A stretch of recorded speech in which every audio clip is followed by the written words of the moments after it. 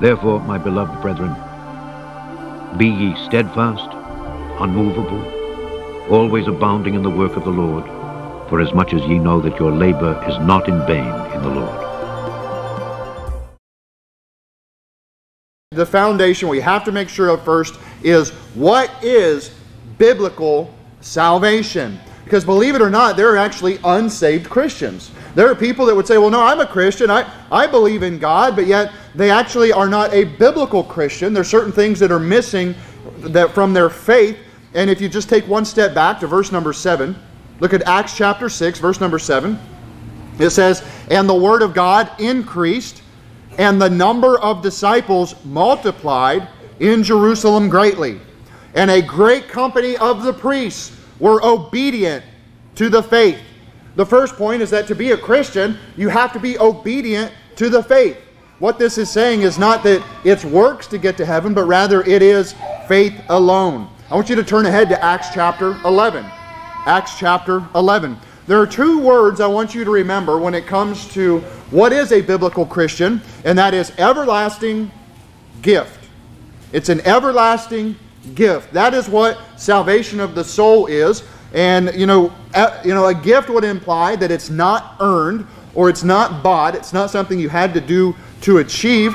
And the fact that it's eternal, everlasting means that it lasts forever. It's never lost. It can never be forsaken. It'll never be taken from you. Once God gives this to you, He's given you His word, He will protect it and preserve it. And a lot of people will say, well, to be a Christian, you said everlasting and gift. I didn't hear repent of your sins.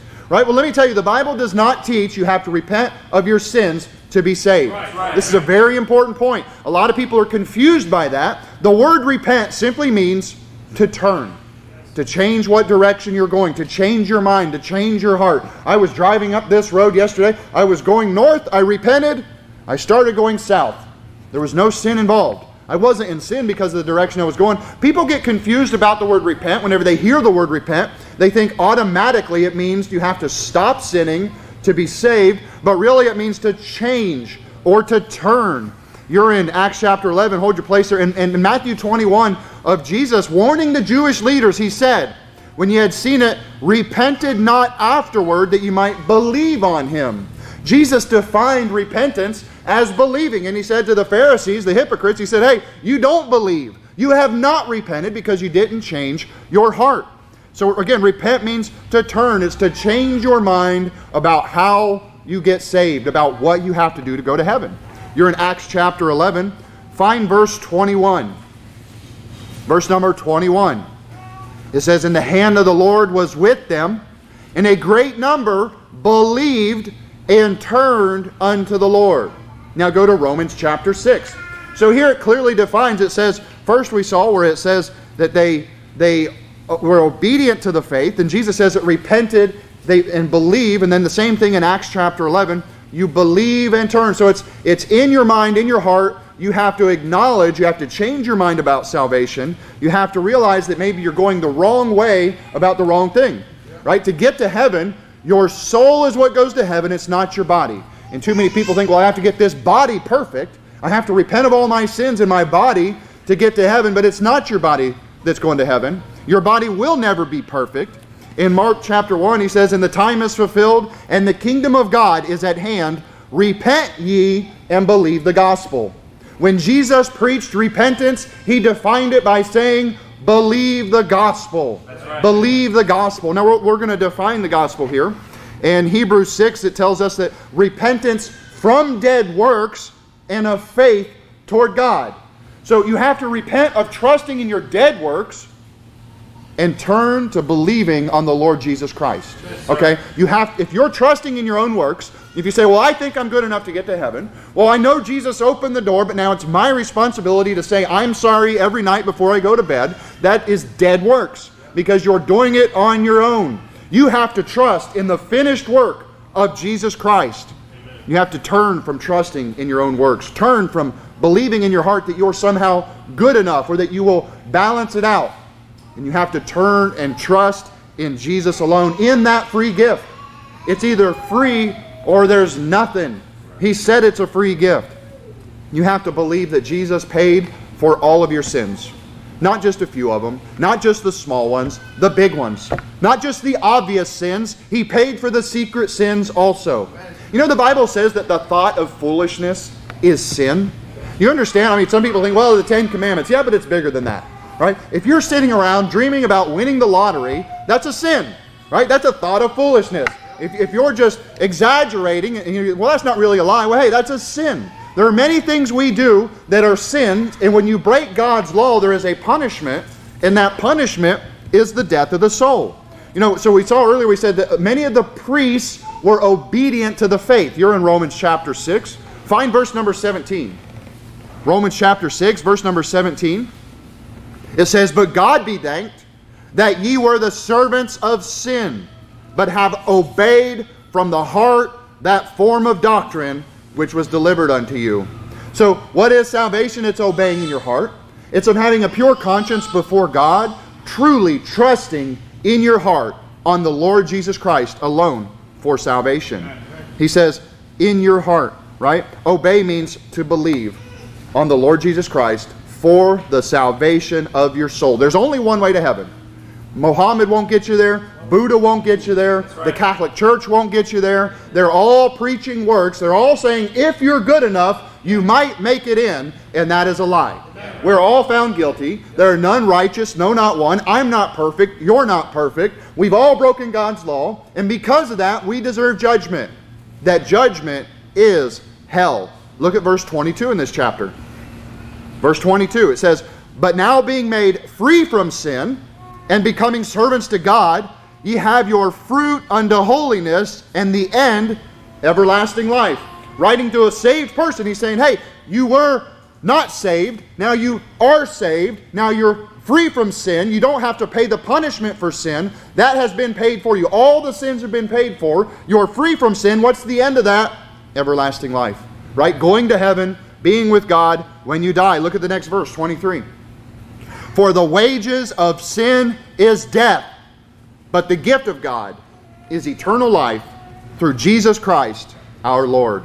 The wages of sin is death. Wages are something you earn. You earn a minimum wage. You earn a wage at work for what you do. We deserve death and hell because of our sin. The death that's referring to is not just your body, it's also dealing with your soul. Listen, the Bible teaches a concept of eternal security. He says that everlasting life, that lasts forever. There's a phrase people use once saved, always saved. I love that term. I don't have any problems with that term because the Bible is clear. Once your soul is saved, it will always be saved. And there's no guarantee your flesh is going to become perfect.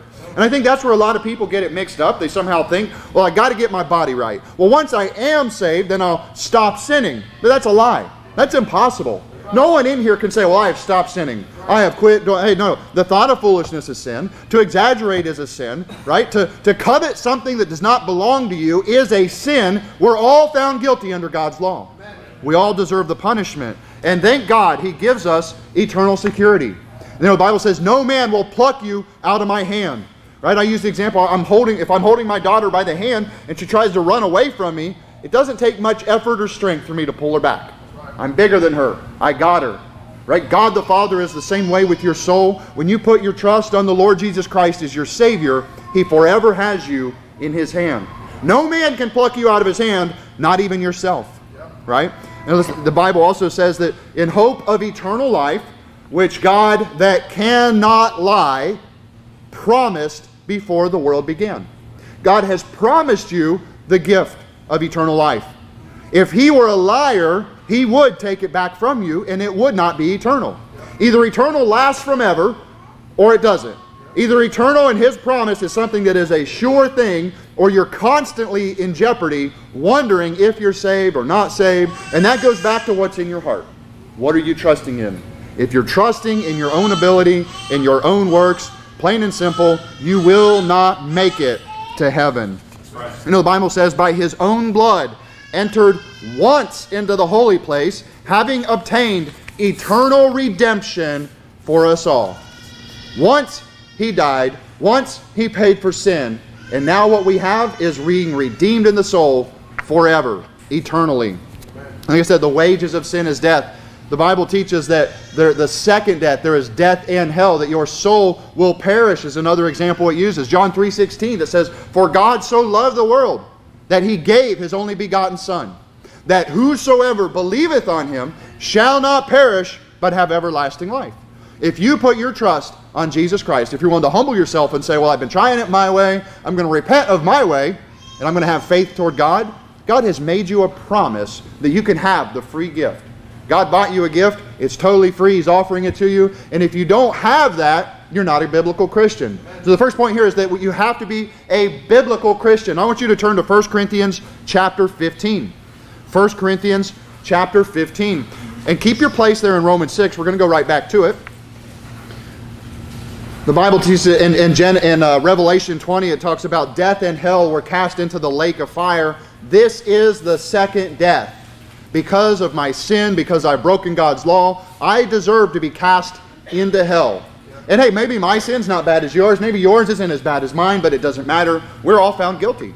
We have all done things that are worthy of judgment of God, and He's made us this promise that we deserve hell, but He promises eternal life. He promises a free gift to get out of hell if we would only put our faith in Him alone. Of course, Jesus died and went to hell for your sin. That punishment you deserve of, of burning in hell, Jesus died and went to hell. He died for your sins, yes, and he went to hell. It says, He seeing this before spake of the resurrection of Christ, that his soul was not left in hell. Now you're in 1 Corinthians 15. We're going to see the simplicity of the gospel here. 1 Corinthians 15, verse number 1 says, Moreover, brethren, I declare unto you the gospel, which I preached unto you, which also ye have received, and wherein ye stand. So here, you have to believe the gospel. So what is the gospel? It defines it right here for us. Verse 2 By which also ye are saved. If you keep in memory what I preached unto you, unless you have believed in vain. Listen, there are some people that have believed in vain. Those are fake Christians. Those are people that say, well, I'll give Jesus a try.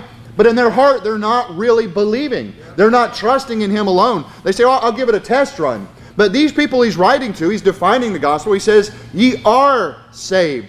That's present tense. It happens right now while you're still alive. And once you are saved, you're always saved. It's not something you have to work out over time and try to figure out if you still are saved. In fact, if you're in that position, I would challenge you. I would say you're not really saved. If you feel like if you just did the wrong thing that you would go to hell, then you're not saved. If you say, well, I'm not a murderer, but if you murdered, you would certainly have to go to hell. Well, guess what? We all deserve hell. And guess what? God has provided the free gift, the opportunity to get out of hell. Look at the next verse, verse number three. For I delivered unto you first of all that which I also received, how that Christ died for our sins according to the Scriptures. Jesus was God. He paid for everything you'll ever do that's wrong. He's already paid for it, and He's offering you eternal redemption in the form of a gift. The gift has been paid for, it's purchased, it's freely available. It's up to you to take it. If you reject it and say, I'm not ready for it, then guess what? You're on your way to hell. Well, maybe later in life, or, or I know I still think I have to try to be a good person. You're rejecting the free gift. He's, he died for your sins. You don't have to die for them. You don't have to go to hell. Look at verse 4. And that he was buried and he rose again the third day, according to the scriptures. So, what is the gospel? To believe that Jesus died for your sins, to trust that he, they put his body in the tomb and he came back to life. He resurrected of his own power. Listen, only God can bring the dead back to life. Only God can forgive sins, and He's offering you that as a gift. You have to have faith that God paid your sin debt 100%. Every sin you'll ever commit has already been paid for. Now it's up to you to take that free gift. Turn back to Romans chapter 6. In John 1:12 it says, "But as many as received him, to them gave he power to become the sons of God, even to them that believe on his name." Listen, power in the Christian life starts with believing on the Lord Jesus Christ. Believing that Jesus was God, He is the Son of God, He is the one that purchased your redemption trusting in Him alone.